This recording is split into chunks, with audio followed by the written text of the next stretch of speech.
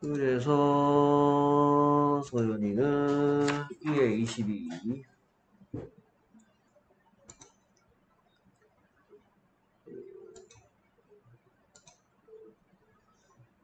셔플 풀고. 오케이. 봄이에요 라고 얘기하고 싶으면 그렇죠 it is spring 이라고 얘기하면 되겠죠. 스프링 어떻게 써요?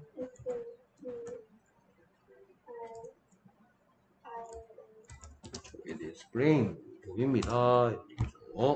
It is spring. 그러면 봄 다음 여름이니까 만약에 여름이 왔으면 여름입니다 summer 쓰는 법 summer 그 다음 it is summer 같고요 가을입니다 it is autumn it 아이고 it is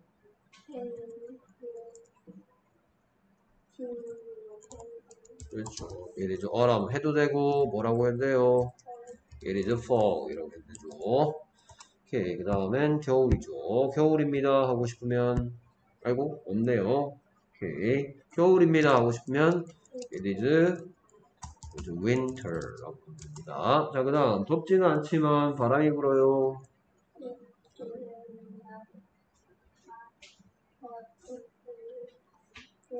그렇죠. It is not hot, but it is windy. 오케이. 그래서 세 가지 종류의 문장 중에서 비동사죠. 만약에 덥다면 이렇게 하면 되겠죠. 덥습니다. It is hot. 덥지 않습니다니까. 오케이. 이거 어떻게 줄여 쓰더라? 그렇죠. It isn't hot 되고. hot의 뜻은 뜨거운, 더운, 무슨 시? 그렇죠. 어떤 시니까 어떻다 하려고 비동사가 나왔죠. 그러면 windy의 뜻은 뭐겠어요?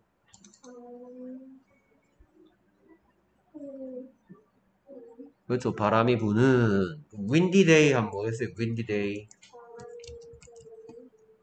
그렇죠. 어떤 하루? 그렇죠. windy도 마찬가지 어떤 시죠. 그러니까 저 바람 분다라는 표현할 때 비동사가 사용된다는 거 우리가 어차피 다 배웠던 거 이렇게 문장에 나오죠. It is not hot, but it is windy. 그러면 덥니? 라고 묻고 싶다면 Is it hot? 겠죠. 그래서 뭐라고 물었더니 Is it hot? 했더니 덥지는 않은데 바람이 좀 불어. Windy. 아, 그 다음 계속 다음 표현은 춥지는 않지만 바람이 불어.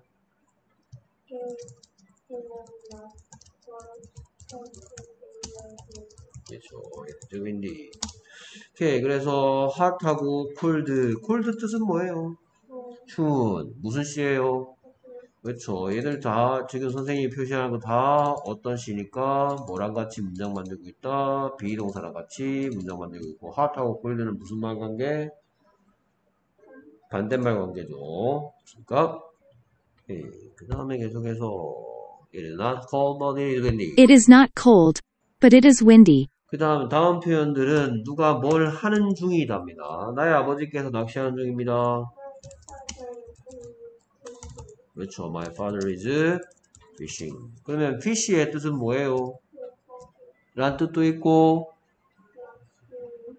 그렇죠. 낚시하다라는 뜻도 있고 여기서 낚시하다라는 뜻에서 바뀐 거예요. 낚시하다였으면 무슨 시였는데 거기다가 뭐 붙이니까 그래서 무슨 뜻이 됐다? 낚시하는 중인 무슨 시 됐으니까 그렇죠. My father 안만 길어봤자 그렇죠. He is fishing이죠. 자 그러면 너의 아빠는 뭐 하는 중이니? What is your father doing? 이라고 물었겠죠. 그렇죠? 너의 아버지 뭐 하시니? 그랬더니 그는 낚시하고 있어요. He is fishing. 됐습니까? What is he doing? He is fishing. 예, 계속해서 다음 표현도 계속해서 뭐뭐 하는 중입니다. 표현입니다. 예, 그래서 이번에 나의 아빠가 조깅하는 중입니다.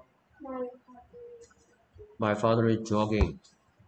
My father is jogging. 조깅 할 때 G 두 번 써야 되는 거 잘 했고요. 그 다음에 나는 걸어서 여행하는 중이에요. 그렇죠. I am hiking 어떻게 써요?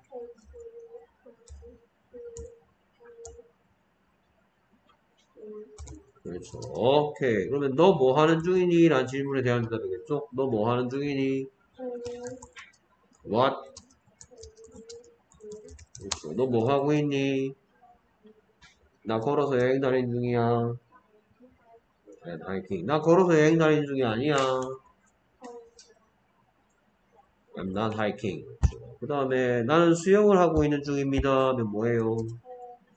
그렇죠. I am swimming. swimming 어떻게 써요?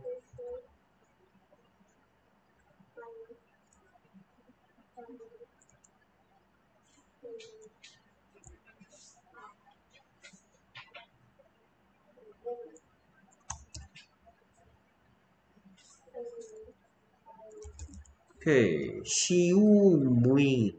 시우밍. 스위를 봐. 얘가 위 소리를 만들어야죠. swimming. Swimming. 예, swimming 스펠링이 좀 어려운 모양이죠? 시험은 잘 쳤고요. 스펠링 틀린 거 없고 다 맞았네요. 오케이. 수고했습니다. Swimming 스펠링 주의해주세요. 오케이. 수고했습니다. Very good.